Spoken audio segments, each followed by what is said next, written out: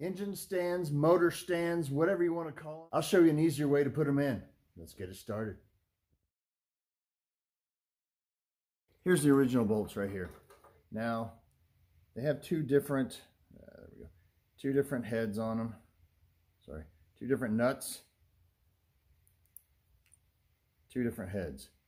Now, whether or not they changed that motor sometime in the past, I do not know. Did have the lock, both of them did have the lock washers on them though.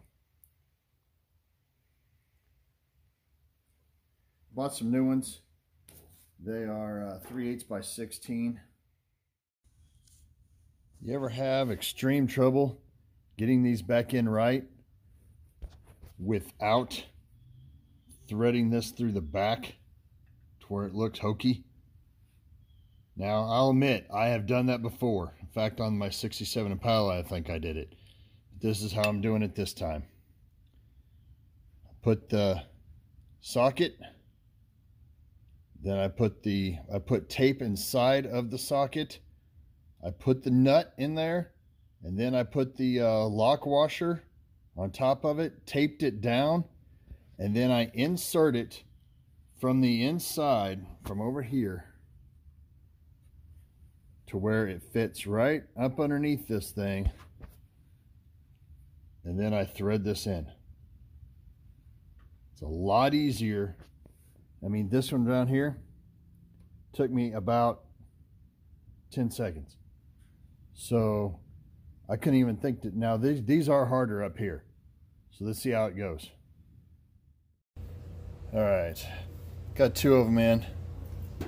And this is the hole I'm using to get the top two in. The bottom one you can go through the bottom of the cross member here. And RC has got me the next one ready. Let's see if I can do this one-handed.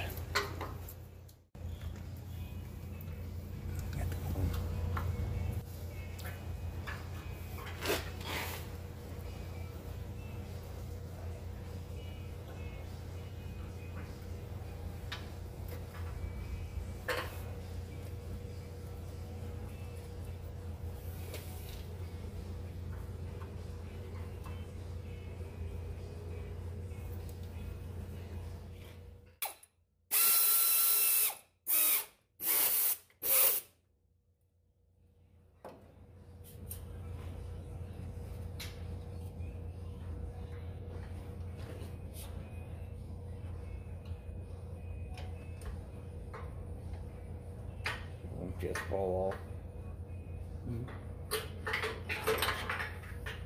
That's how it's done.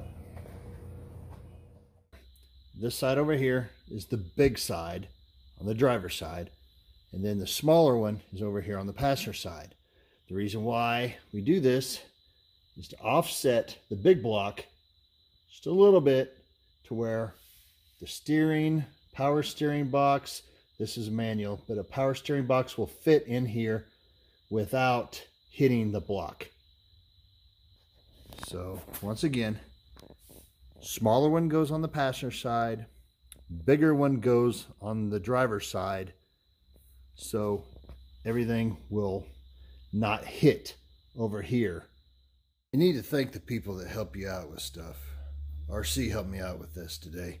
His knowledge and everything, you know, I thought I had it pretty well, but his knowledge of uh, taking tools and getting stuff done easier sure does uh, help you out a lot. So those people that help you, your parents, your dad, or whoever helps you in the shop, you know, thank them.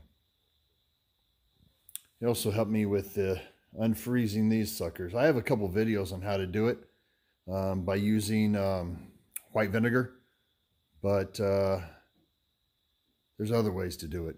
He helped me with that today as well. Thank you, RC. Thank you for watching, subscribing, commenting down below. And as always, if you ride her hard, don't put her away wet. One more thing. Let the people that work on your cars with you, let them know that you appreciate it.